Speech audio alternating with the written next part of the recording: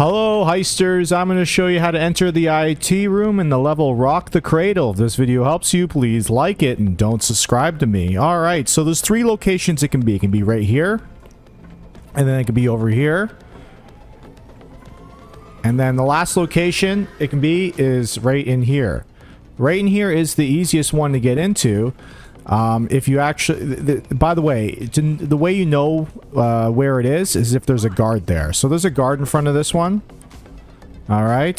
So that's how you know that's where the IT room is. All right. So I'm going to pretend it's in this one so I can show you how to get into all three. To get into this one here, we're going to go this way. And then go in here. And then you just open this door. And then, then there's the door right there. You just need the car, uh, the key card. Alright, I'll show you to get the key card soon enough.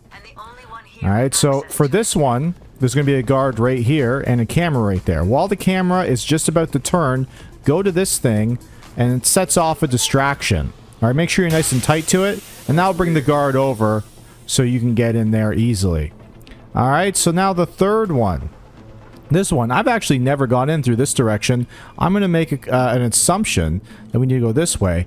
Now, keep in mind, they are very the guards are very sensitive to noise. So really, take you know, really just be quiet and take your time. All right, so there's going to be a camera right there. So we're going to open this grate, and then we're just going to hop in. All right, and there we go. We're in the IT room now. Now we're still going to crouch because if he hears you, you are screwed. Alright? So to leave, we're going to go there. And we're going to go out here. And by the way, if you walk out the door, he doesn't care. He doesn't seem to care, but you walk out, you just can't walk in. Alright? Oh, look, there's another little distraction. So you can distract him here, too. Alright, so if we just set this off, that'll get him out of your way as well. Perfect.